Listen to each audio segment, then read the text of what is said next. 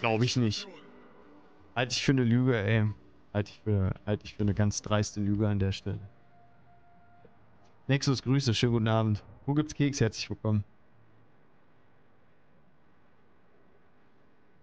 Was haben wir denn hier? Wir haben den Nevsky Ja. und eine Kronstadt, okay.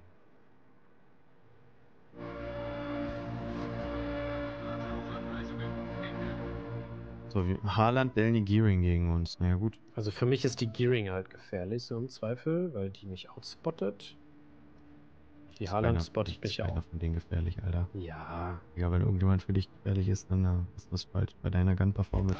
Aber du, wir sind ja jetzt auch, das ist ja auch eine wilde Division, die wir jetzt hier haben. Also, wir sollten auf jeden Fall wieder ein bisschen aggressiv aufs Cap aufdrücken.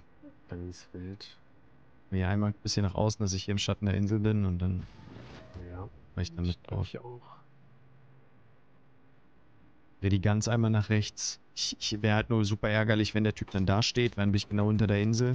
Du kannst ja mal hier so ein bisschen nach außen fahren, dahin. Traust du das zu, Diggi? Klar. Weil dann, weil wenn der Typ nämlich dann wirklich da steht, dann kommst Ja, Ja, ja, auf ja, jeden dann, Fall safe dann, dann. dann, dann gehe ich damit ran. Ja, und ja. wenn er da steht, dann kommen wir beide ran. Aber ich Ich habe will ja auch meinen 5 Kilometer Hydro für die Schiffe, das passt alles.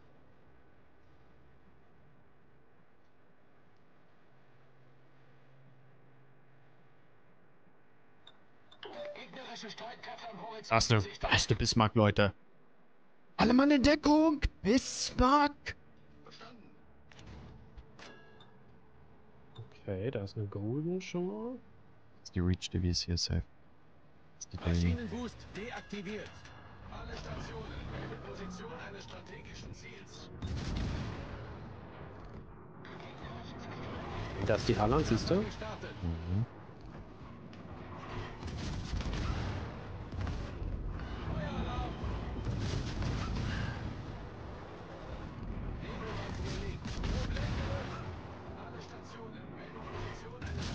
Keine Ahnung, warum ich jetzt den einen Schuss daneben ballern muss und den Schuss jetzt auch daneben ballern musste, weiß ich jetzt nicht. War ich jetzt wieder ein bisschen, von- bisschen zu verstrahlt oder so, I don't know, aber Selber Aber ärgerlich trotzdem auf auch von mir ganz gut noch was bekommen. ja, 13,75 er hätte viel mehr kriegen müssen von mir eigentlich.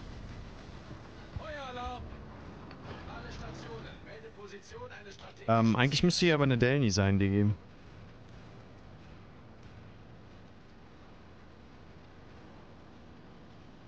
schieß gleich mal.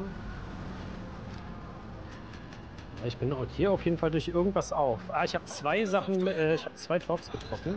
Auf die Golden, glaube ich. Nix. Also ich habe ein bisschen Angst, dass, dass mich die Mach jetzt mal. Hydro an. Bismarck, Digga, die kommt immer weiter rein. Oh mein Gott! Ja, Auto! Pull hier gerade mal ein bisschen Smoke. Dann kann ich da mal nicht. Nebelwerfer gestartet.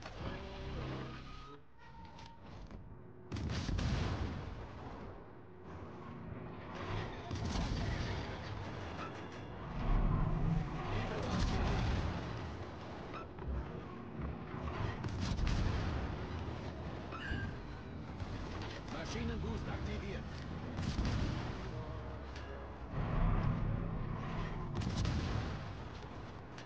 Shit. ich bin- Diggi. Oh mein Gott, Alter. What is this, Alter? What is this? Der Otto da. Ja, da krieg ich aber meine Talks. Passt alles. Alles easy. Alles, alles easy, ja? Ja, ja, alles easy, alles easy, alles easy. Ich presse ein bisschen Damage, aber der ist raus. Hab ein bisschen, ein bisschen... Ich wollte hier gerade ein bisschen dancen, Leute. Ich hab ein bisschen Schiss gekriegt, dass jetzt der Otto hier um die Ecke kommt und dann... Und dann gibt's aber... Torpedos After Äh, die Delny steht. Mhm. Hat jetzt Torpedos nicht After aus.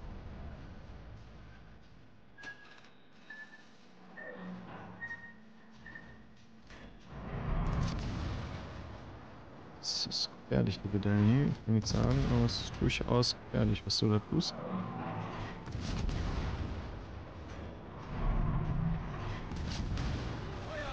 Soll ich dann mal cappen oder cappst du durch? Komm ruhig mal, komm ruhig mal geklappt, Diggi.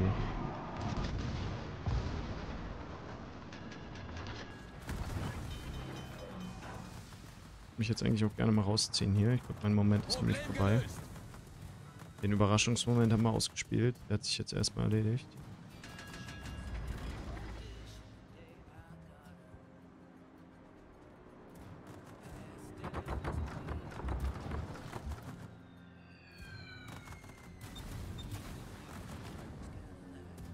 Ja, dann fahre ich jetzt mal cappen und dann kannst du sonst nämlich ein bisschen hier weiter nach unten. Hm, nö, ich muss nicht mehr.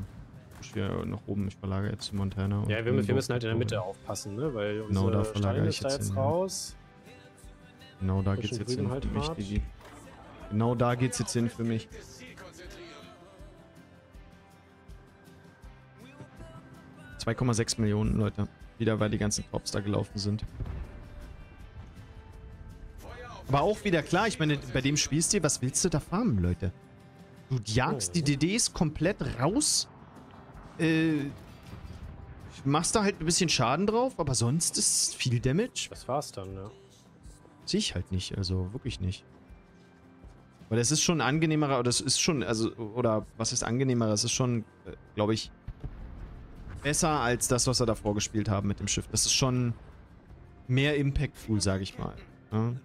Ist klar schwieriger auch, nochmal ein bisschen, muss man auch, auch fairerweise sagen, gehört auch mit dazu. Montana ist tot leider. Aber, gut. aber das schon gar nicht so geil. Aber eigentlich müsste ich jetzt aber hier unten mit rein pushen mit meinem Smoke, dass ich von hinten nerven kann. Ja, erstmal gucken, wo die sind, ne? Wenn die alle da durch, oder wenn da welche durchkommen oder so, also Ja, Golden Danny, Gold Danny und, und da ist, da ist eine ne? gute, da hat sich jetzt eine gute Flanke formiert, sage ich mal.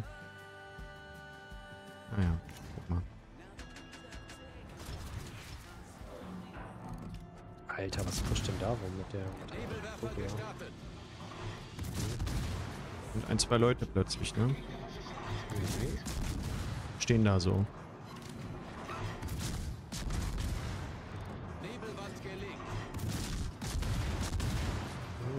Bisschen was mitgegeben.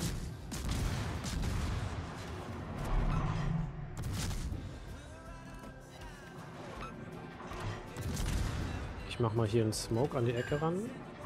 Ja, zieh den ruhig ein bisschen weiter raus, Olaf. Ja, ja, ja, ja, ich muss erstmal zugehen, sonst habe ich ein Problem. Scheiße, Alter. Deaktiviert. What the fuck haben die mir denn gerade hier?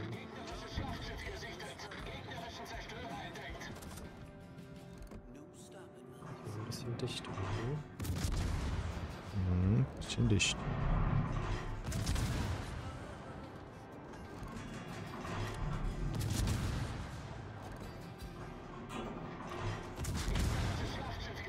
Nicht aus der Okay, Entfernung den wir jetzt Typ. auf die Victoria farmen. Nicht aus der, also die Delny treffe ich nicht aus der Entfernung. Keine Chance. Wenn der da rumfährt mit Fullspeed und dann auch noch Dodge dazu. Ist ja vielleicht mal ein, zwei, drei zufällige Treffer oder so, aber das war's auch.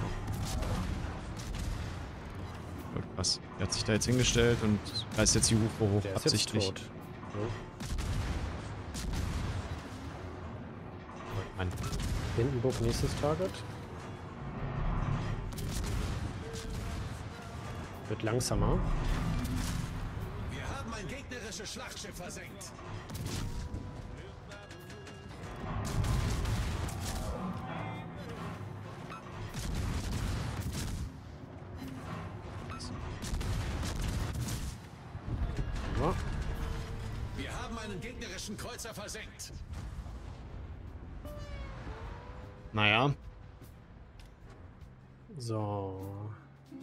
Also... mein, Hydro ist jetzt, mein Hydro ist ausgelaufen. Ne? Ich weiß nicht, wo die Halland äh, ist und ob sie hier reingetaucht hat. Ja, ja, nee, finden wir schon. Alles gut. Wenn die Haaland kommt, dann geht Digi dann gut nach rechts außen. Die Haaland da sein. Dann ist die Halland da drüben, ja. Haaland Das sieht leider nicht so richtig rosig gerade aus. Ja, ja, alles gut. Ich habe noch, ich hab noch drei äh, Raiders, vier Smokes. Ja, ich habe noch einen Smoke. Also ich würde jetzt meinen gerade nicht ziehen. Nee, nee, zieh mal deinen nicht und mach mal easy, Olaf. Du musst doch da gar nicht ins Cap rein. Wir müssen erst noch mal ein paar Leute killen. Die Delny kommt auf jeden Fall noch. Der ist von Reach. Die sind nicht, die sind nicht, äh, Ja, aber die die war sind relativ nicht weit weg gerade. Ja, ja, der. Das, das Ding macht da 45 Knoten, Alter. Der dreht einmal um, dann steht er schon wieder da. Marco Polo kommt reingepusht. Mhm.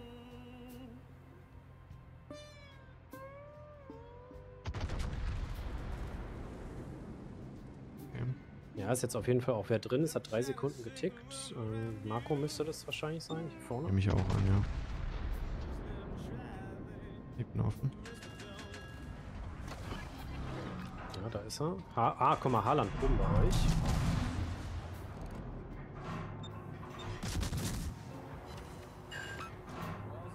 Danny ist ganz weit weg. Okay, kann ich mit auf die Haaland schießen?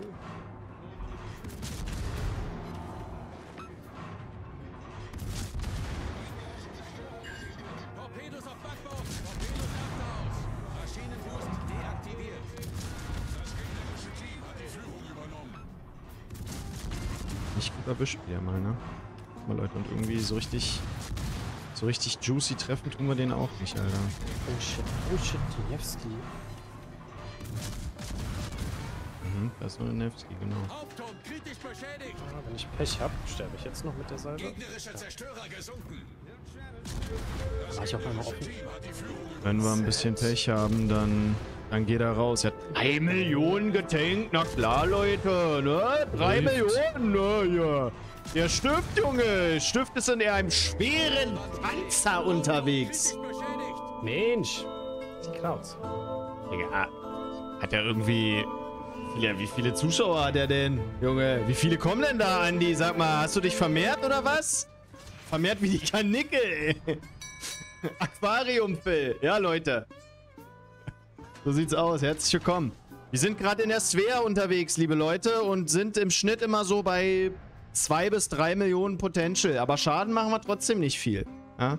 Aber es ist ja auch ein schwerer Panzer, liebe Leute. Ja? Das darf man nicht vergessen. Es ist ein schwerer Panzer, dieses Schiff. Ja? Man denkt immer irgendwie, alles gut und so, aber ist halt ein schwerer Panzer. So, ich fahr voll raus. Wer das eh an? Sie gehen eh jetzt auf hier durch die durch den anderen Juppel da. Müssen wir halt mal ein bisschen wiggeln. Liebe Leute, ansonsten CLR-Conti und herzlich willkommen an die, die mich noch nicht kennen. Ich bin der Phil. Grüße, schöne, gute Abend euch. Ähm, es gibt CLR-Container zu gewinnen. Tragt euch einfach rein. CLR-Conti, Follower des Kanals können gewinnen. Und ansonsten herzlichen Dank und moin. Moin. Du hast dich doch vermehrt. Andi, du hast dich vermehrt. Ich merke das auch.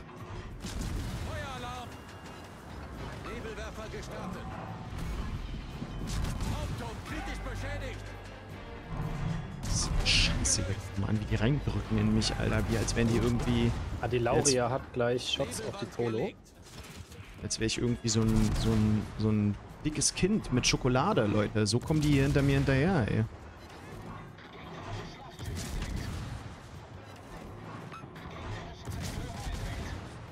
Die Viewing, Alter. Ich sehe, dass Übelst jetzt krass. erst das Reach gegen Reach spielt, ne?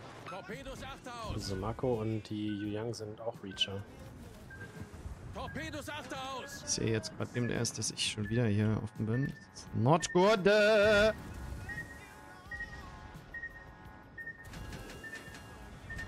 War alles easy, Leute, alles easy. Wir, wir dodgen das. Wir dodgen das aus hier. ne?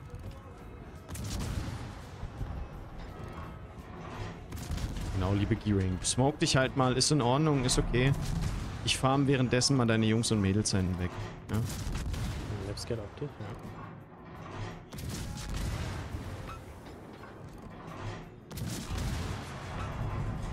Nebelwerfer gestartet. 3,7 Millionen Leute, 3,7. Machen wir, macht er die 4? Macht er die 4? Problem gelöst.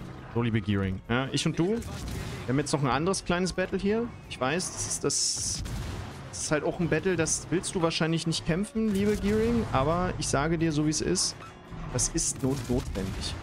Scheiße, jetzt ist der da rausgefahren. Der war gar nicht so bad. Ja, ist ja noch ein Kurfürsten zum Farmen, ne? Also, Ja, ja. Da habe ich noch einen Kurfürsten zum Farmen, aber trotzdem. die bleibt offen, weil sie schießt. Lauria. Oh, scheiße, der Kurfürst nimmt gerade unsere Lauria raus. Zu blöd, den jetzt gerade zu treffen. Und jetzt habe ich unten leider die. Die Mich halt auch gut will. Ah, Leute. Leute, nicht gut. Ich sehe ich sehe es kommen. Ja. Wie soll ich denn hier, hier alle, alle von denen hier wieder... In müssen Dark gehen. Phil muss Dark gehen, wir müssen Dark gehen. Dark, Dark, Dark, go Dark. Phil. Go Dark, ja, Kurfürst, ich weiß. Komm, dodge it, dodge it. Ja, genau. Wieder anfahren, schneller werden, anfahren, anfahren. Genau. Sehr gut. Nein. Schlecht. Nebelwerfer gestartet. Kacke, ey. Die Delny ist jetzt... Ja, offen. jetzt ist die Delny halt mal jetzt schlau. dich. Ja, Ja, ja, jetzt jetzt. ist die Delny... Ah, Ist, das ist auch ein Reacher, ne? ja, der jetzt, aber jetzt ist er halt mal schlau. Jetzt hat er auch mal, mal auf AP umgeladen. Leute, also irgendwie, ich weiß nicht. Los. Da hat, das hat doch nicht, hat, er- hat die Runde jetzt geschockt oder was? Hier mit meinen 4,1 Millionen Potential kann ich doch nach Hause gehen mit meinen 104.000 Schaden. Nicht ein Torpedo getroffen. Doch, ich habe ein Torpedo getroffen, sorry. Wow. Torpedo getroffen. Leute, also 504 Zuschauer? Na, Andi. Andi, hier Dings ist mit 411 gekommen. Was? Der denn? Andi, sag mal, du hast dich doch. Ist Andi noch da? 511. Andi, du hast doch, ähm. Wo, äh. Streamt World of Warships jetzt auch am Sonntagnachmittag? Leute, so oder so, herzlichen Dank für die ganzen Follows. So viele Follows habe ich die ganze Woche über nicht gekriegt. Dankeschön. Ähm, an Teufelchen, Black Rabbit, Zachach, Daniel Köln, Captain Krause und an der Keule, Junge. Ich habe es ja versucht, mit gutem Gameplay zurückzuzahlen, so wie es die, die mich kennen, zumindest von mir gewohnt sind. Ihr wisst hier, dieses kleine bisschen Unicum-Gameplay kann man dann hier durchaus erwarten. Aber hat nicht ausgereicht, die Runde. Muss man mal so sagen. Hat nicht ausgereicht. Ich hatte Spaß. Ist denn so viele... Was hast du denn gemacht, Andi? Sag mal, wie...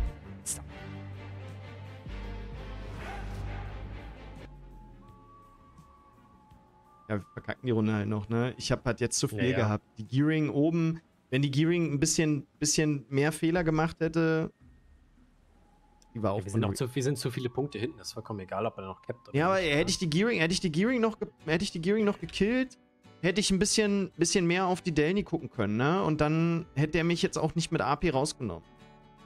Das war halt so ein bisschen das Thema. Die Delny hat jetzt am, am Ende, die hat am Anfang gemerkt, okay, da sitzt jemand in seiner, in seiner Sphäre, der weiß anscheinend von, von Gas und Bremse zu unterscheiden und ähm, dann wurde es schwierig, wenn man das mal so sagen darf. wenn man das mal so zusammenfassen darf. Trotzdem, also eine gute Runde, aber werden wir sicherlich verlieren, ne? Werden wir sicherlich hier verlieren, ja. Okay, Leute, dann tragt euch gerne ein, CLR-Conti in den Chat, falls ihr den lieben Andi noch nicht kennt, an meine paar Lebo-mäßigen Zuschauer, die gerade eben da waren, so viele wie jetzt gekommen sind. Andi sagt, ich verstehe es ja immer noch nicht. Wie denn so viele Zuschauer? Ja, ach, hast du irgendwie Freibier geboten oder was? Also, es ist ja. Mensch. Wahnsinn. Glückwunsch, mein Guter. Freue ich mich. Sehr, sehr schön. So soll es sein. Ähm, an diejenigen, die jetzt äh, noch reingekommen sind, tragt euch jetzt mal bitte ein, CLR-Conti in den Chat. Es, es gibt also diese Colorful Sao, also kann es zu gewinnen geben. Und auch diese Rune und so. Ähm, das würde ich jetzt gerne auch auflösen. Ich habe das jetzt schon einige bisschen Zeit, sage ich mal, aktiv und würde ich jetzt gerne auflösen an der Stelle. Also einfach eintragen, Follower des Kanals sein. Passt übrigens genau, dass ihr jetzt genau in dem Moment gekommen seid, wo wir ein Giveaway offen haben. Ja, super. Also tragt euch gerne ein. Wird jetzt natürlich bei der Menge an Zuschauern nicht nur einen Container geben. Das wäre jetzt halt ein bisschen... Ein bisschen weiß ich nicht. Und dann sage ich herzlich willkommen nochmal an alle. Ich kann alle nicht begrüßen. Ihr seid so viele jetzt gerade. Ich... Ja.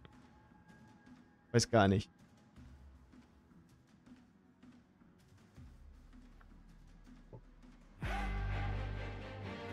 Genau. Und Secrets habt ihr ge Shoutout habt ihr gekriegt, genau. Also an alle die, die auch den Andi noch nicht kennen, Shoutout habt ihr gekriegt, geht mal zum Andi rüber. Wir machen ja regelmäßig oft und gerne Content, weil Andi auch wirklich einfach einen guten Content macht. Der ist einer der wenigen, die sich richtig viel Mühe geben, was das anbelangt und auch wirklich richtig guten Content liefern und von daher mal das ja auch immer sehr gerne an der Stelle.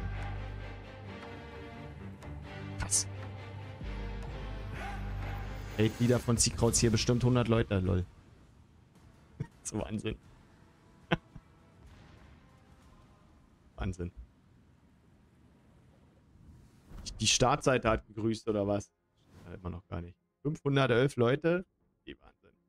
Unglaublich. Was, ey. Ähm, ja. Gut.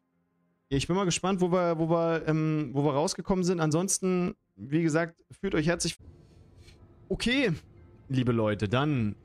Wir haben uns die Sphere jetzt ganz intensiv angeschaut, mehrere Runden lang. Wir hatten sehr gute Runden dabei, wir hatten auch eher schlechte Runden dabei. Die letzte Runde war durchaus wieder mal eine, eine, eine das war nicht diese. Ähm, die letzte Runde war durchaus mal wieder eine Runde, die war sehr, sehr interessant. Sehr, sehr gut auch. Ähm, aber diese hier. Und da haben wir... Ne, das war nicht diese hier. Dann sind die hier oben. Sorry, das waren die älteren Runden. Das war diese hier, die war sehr, sehr gut. 162.000 Schaden auch mal wieder gemacht. War wieder Erster, gew Erster geworden. Also mit dem Schiff macht man wirklich sehr, sehr viel Base-EP. Und ihr habt auch einen Spielstil, welcher quasi aus... äh, Alles, was dieses Schiff macht, erzeugt direkt immer nur Impact. Auf Impact ist ja das, was ihr haben wollt. Umso mehr, umso eher gewinnt ihr Runden. Positiver Impact auf so ähm, auf so eine Runde ist ja das, was ihr am Ende braucht. Das ist nicht nur Schaden. Schaden ist ein Teil davon, aber vor allem ist es halt auch viel ähm, Schaden auf richtige Schiffe, Schaden in bestimmten Zonen und auch in bestimmten Zonen gut kämpfen, sage ich mal. Das hat das Schiff sehr, sehr viel, vor allem durch das Loadout, was es mitbringt. Ne? Muss man, kann man nicht anders sagen. Also die, die Motorlotleistung mit 30%, ähm, das Überwachungsradar, das, der Kurzimpulsnebelerzeuger, ähm, bietet euch Möglichkeiten, immer in entscheidende Positionen vorzurücken und an diesen Positionen auch gut Schaden zu machen. Ihr seid ein übelster DD-Schreck, muss ich ganz ehrlich sagen. Ich bin froh, dass ich nicht gegen das Svea bis jetzt fahren musste.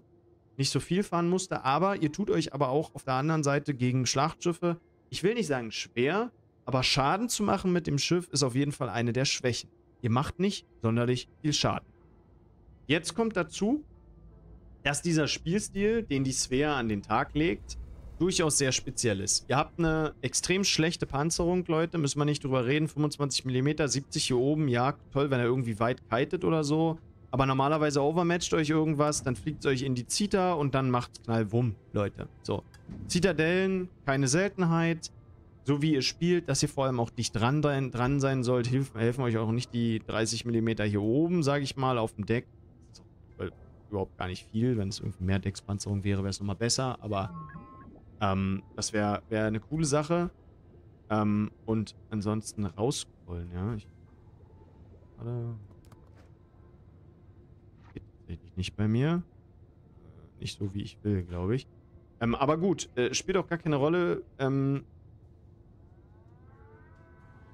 ich wollte euch jetzt eigentlich gerade nochmal den Hafen zeigen, als Kasi gerade schreibt, aber irgendwie kriege ich das nicht hin mit dem Rausscrollen. Reinscrollen geht, rausscrollen geht bei mir nicht ganz so. Müssen wir so mit Bild machen oder so, ne? Probieren wir gleich nochmal aus.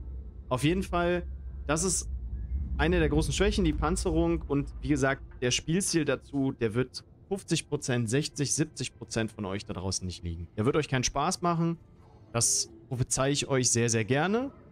Ähm, denn ihr habt damit Probleme. Das Schiff ist der Ritt auf der Rasierklinge, der Ritt auf der lebendigen Rasierklinge. Das ist keine Smolensk, liebe Leute. Die Smolensk ist dagegen super einfach zu spielen. Das hier ist nochmal was ganz anderes. Ich weiß deswegen nicht, ob es den Stahl für die meisten von euch wert wäre. Ich würde persönlich sagen, nein. Für Liebhaber ja. Das Schiff ist auch nicht schwach, will ich auch nicht sagen. Es ist aber auch nicht übermäßig stark. Es gab zuletzt extrem krasse, richtig, richtig starke Stahlschiffe. Komplett OP meiner Ansicht nach. Ruggiero di Lauria beispielsweise. Ja, macht mit ihrer SAP, ich weiß nicht was für Schellen, unglaublich krasse ähm, und, und auch richtig, richtig viel Schaden immer. Ja, muss, man, muss man so sagen. Aber ist halt ein Schlachtschiff. Das Ding halt hier, klar, hat halt Impact, ihr könnt damit viel machen. Es ist auch echt cool, macht auch wirklich Spaß und so. Es ist auch wirklich anstrengend zu fahren. Aber ich weiß nicht, ob das jetzt alles positive Punkte sind ähm, für euch. Also Spaß zu fahren ist eigentlich ja schon wichtig. Und wenn es anstrengend ist und schwierig und ihr viel können müsst, um damit gut zu sein, ist es eigentlich eher eine Schwäche. Und das ist so das, was ich euch ans Herz legen würde bei der Svea. Ihr werdet damit Leute sehen, die damit richtig abreißen. Kann ich mir richtig gut vorstellen bei der Svea. Ich selber habe mich jetzt hier auch im Test jetzt nicht unbedingt schwer getan, aber vom Schaden her zumindest. Naja, also für ein Stahlschiff erwarte ich eigentlich im Schnitt schon immer deutlich mehr als 100.000. Das ist mit der Svea nicht immer drin, sage ich euch ganz ehrlich. Manchmal habt ihr auch Runden, die sind nach 60k vorbei. Ihr habt zwar zwei Kills gemacht oder so, aber die Runde ist durch. Konntet da halt nicht so viel farmen. Und, ähm, das ist halt auch so ein Thema, wo ich sagen muss, naja, also gut, weiß ich nicht. Skillung ist tatsächlich ein Vorteil bei dem Schiff. Ihr müsst nicht unbedingt einen 21er Kapitän haben. Ähm, ich habe hier geskillt auf jeden Fall auf zahlenmäßige Unterlegenheit. Würde ich euch jetzt am Ende auch so empfehlen. Der Skill prockt hin und wieder schon mal. Ist das Beste, was ihr, glaube ich, für vier Punkte hier mitnehmen könnt. APF rate ich eigentlich immer davon ab, vor allem bei so einem Schiff, was Raider hat. What for? Ihr seht dann euren DD und dann schießt er drauf und fertig. Aber von der Skillung her ist der Rest hier auch unverhandelbar. Also die anderen Skills braucht ihr hier alle durch die Bank weg. Diese hier sind alle durch die Bank weg. Den Vierer könnt ihr euch überlegen und vielleicht den Einser hier, da könnt ihr dann nochmal irgendwie Brand mitnehmen oder so. Aber die Skillung würde ich euch schon so an der Stelle jetzt ans Herz legen.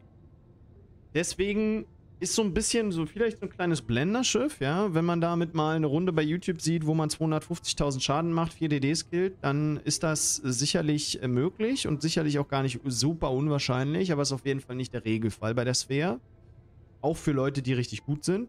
Ich würde mich schon als jemanden bezeichnen, der gut ist. Ah, Einfach weil ich das Spiel unglaublich lange spiele, aber ne, wisst ihr ja. Und deswegen ich weiß nicht so genau, ob ich dafür eine Empfehlung aussprechen soll. Ich sag mal eine eingeschränkte Empfehlung. Kann Spaß machen. Für 30.000 Stahl finde ich es persönlich auch ein bisschen zu teuer. Spielstil ist cool und interessant. Das ist ein positiver Punkt. Aber wollt ihr sowas wirklich haben? Ich weiß es nicht. Ich würde wahrscheinlich eher sagen, nein. Ansonsten, ja, gegen U-Boote, klar, ihr habt noch einen Luftschlag, die kriegt ihr auch mit auf mit Raider. Das Ding hat halt kein Hydro, das heißt, gegen U-Boote seid ihr eigentlich auch eher halb anfällig. Ja, aber ist lustig zu fahren. Wenn euch der Spielstil Spaß macht, will ich es euch, euch auch nicht komplett ausreden an der Stelle. Das möchte ich auch nicht tun. Okay, mein Fazit zu, zu Svea, durchaus gemischt. Ja. Ähm, sonst kriegt er auch immer mal ein, Posit ein klar positives, klar negatives. Das ist bei dem Schiff hier so nicht möglich. Hoffe, es hat euch trotzdem gefallen. Das war unser Test von der Svea und